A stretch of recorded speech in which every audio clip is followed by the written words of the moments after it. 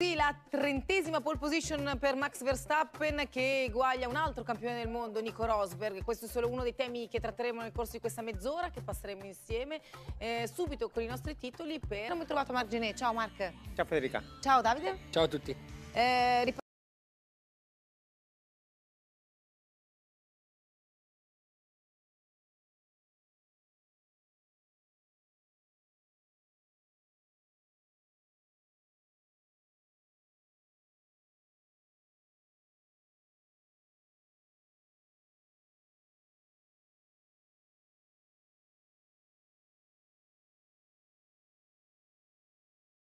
è complicato sottolineare quanto forte mentalmente sia, ma probabilmente è anche semplice guardando all'approccio che ha ogni weekend di gara, Mark, perché sembrava anche quasi rammaricato di quell'errore nel finale.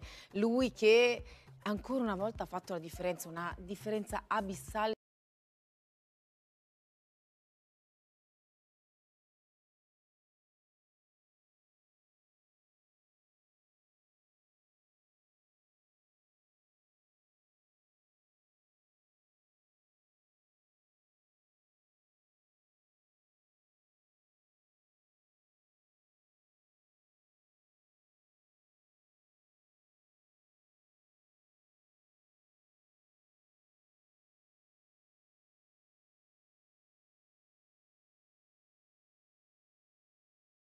remando, no? sempre mm. in, piccole correzioni.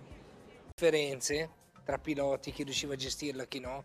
Era tanto complicato anche la gestione delle gomme, sentire quello che ci ha detto Leclerc. E perciò in questi tipi di condizioni Verstappen fa un sacco di differenza su Perez. Abbiamo visto quelle qualifiche bagnate quest'anno, l'abbiamo visto in condizioni di freddo e oggi in condizioni difficili, vento, pista non perfetta, tanto difficile, ha fatto un abisso. La macchina è la stessa, però poi te la settano in maniera che per Verstappen è perfetta e Perez deve adeguarsi perché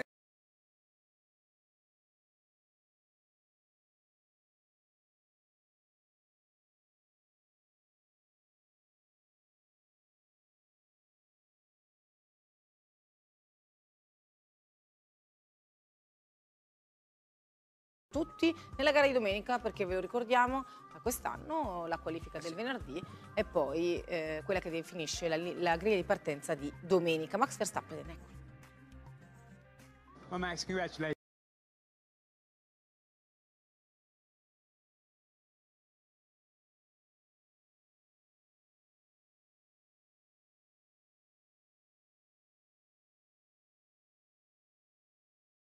richiamati dagli steward, ma questo è solo un piccolo, un piccolo neo di, di, questa giornata. Uh, lo andiamo a vedere dopo, adesso? Non ho capito dalla regia.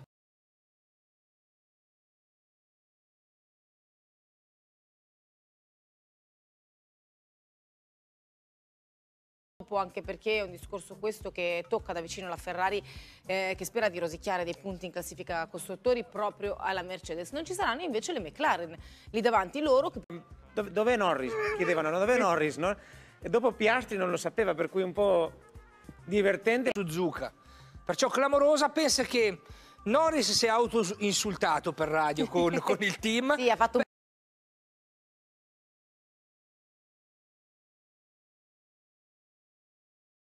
Suzuka. Perciò clamorosa, pensa che Norris si è auto-insultato per radio con, con il team. sì, ha fatto un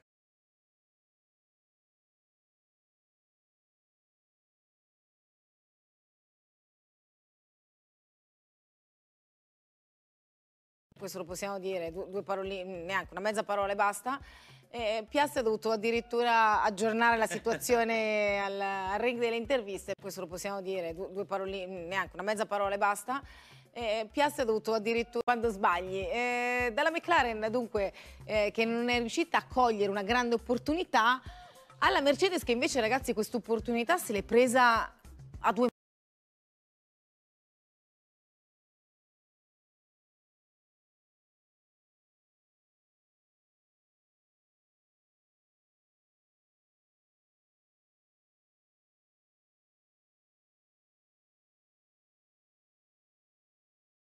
po' preoccupati nel vedere che i due partono vicini. Sì, perché domani è terzo, perché Hamilton non era particolarmente Bravo.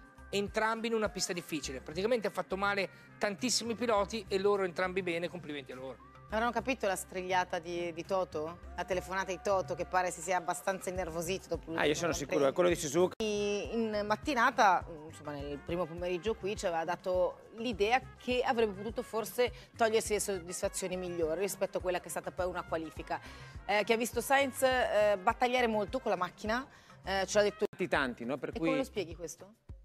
O perché c'era tantissimo vento, quasi 30 km orari, e si sa che alcune macchine sono più sensibili a altre, e la Ferrari Ferrari è pensiamo che lo è. E dopo ehm, la difficoltà, lo diceva anche Charles, no? nel primo tentativo, nel- con un po' meno caldo andiamo bene, la mattina vedremo. Domani l'unico- l'unica variabile sarà questa, che Che in qualifica... farà più caldo la mattina, sì. In ottica cosa da considerare quando, quando guardiamo questo tipo di weekend. La macchina poi non la tocchi più. La macchina nel weekend e attenzione, c'è stato Leclerc che è stato bravo anche a sfruttare gli errori degli altri e piazzarsi Mm. quinto, due posizioni in più di quelli che la, la loro velocità meritava. Perciò ti dico che io non so se domenica riusciranno ad andare al meglio del quinto posto. Deve fare una super gara e se Dall'altra parte invece... mh, Ci ha spiegato, spie- perché Sì, Fred ce l'ha detto, no? Fred non ha detto cosa, ha detto curva 12 mi sembra, Sì. un errore che Era con quello. Carlo pan- senza- Mm, Dicevamo delle Ferrari che partiranno quinta con Charles Leclerc, eh, che si era classificato dopo le due McLaren le due eh, Mercedes. Chi invece è lì davanti a lui è ancora una volta Fernando Alonso, non davanti alla Ferrari, ma davanti al suo compagno di squadra. Questa è una costante assoluta di questa stagione. E che gape, eh? Con Stroll. Un secondo e uno eh, nel passaggio del... A un certo punto erano due secondi, erano due secondi.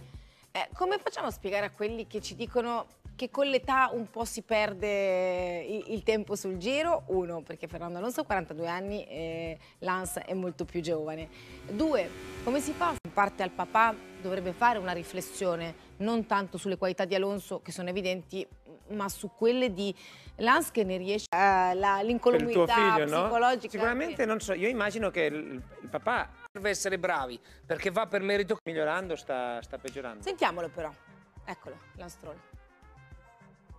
Lance, we saw frustration from Lance, abbiamo visto Visto che davanti alle telecamere risponde alle domande dei giornalisti che, che ti chiedono evidentemente cosa è successo, cosa non va, cosa devi fare. eh, sì, no, niente, continua a guidare. Eh, que- sei arrabbiato così, n- non si vedeva arrabbiato con sé. è proprio fuori di sé. Lo a sentire Fernando. Ah, eccezionale. molto, molto, molto felice, anche rispetto al suo compagno, felicissimo direi. Yeah, very, very happy. I think Sono top molto Eh, primo, Ok. penso, parte della parte Sì. sinistra. Forse dopo non so se posso verificare la, la- la regia. E quarto in questo caso, no? Leclerc quinto. Vediamo, vediamo quello, quello che sarà. Intanto eh, vi ricordiamo che nella Casa dello Sport in questo momento c'è spazio anche per il mondiale di rugby. Francia-Italia, il match che vi stiamo trasmettendo su Sky Sport 1 live in questo momento. Match che diventa decisivo per l'Italia dopo l'ultima partita brutta contro gli All Blacks. Non so se vogliamo dare anche un aggiornamento al risultato. No, perché sennò vi spoileriamo tutto. 201 il canale di riferimento, andate eh, a dare un'occhiata e soprattutto a tifare per i nostri eh, ragazzi. Prima di salutarci, vi diamo gli appuntamenti alla giornata di domani, giornata di domani che sarà eh, conclusiva nel- nella sua completezza perché si parte alle 14.40 e tutti a tifare Italia eh, del rugby, mi raccomando.